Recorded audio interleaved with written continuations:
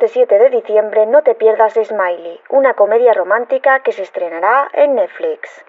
Dirigida por David Martín Porras y Marta Paisa, y protagonizada por Carlos Cuevas y Miki Esparvé, esta serie nos contará cómo un simple smiley será el desencadenante de un malentendido, que acabará forjando un gran amor, poniendo patas arriba la vida de Alex y Bruno, sus protagonistas, armando así una comedia romántica graciosamente divertida. No te la pierdas. Creo que hay algo importante que deberías saber. Te has equivocado de número.